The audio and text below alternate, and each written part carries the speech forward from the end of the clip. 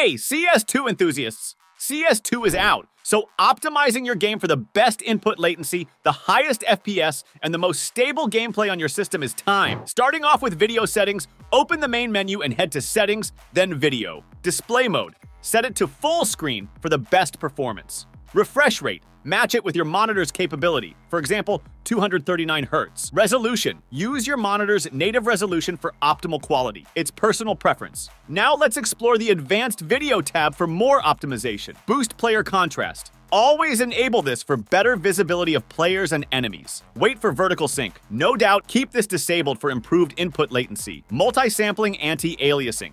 Set it to 2x MSAA for smoother edges.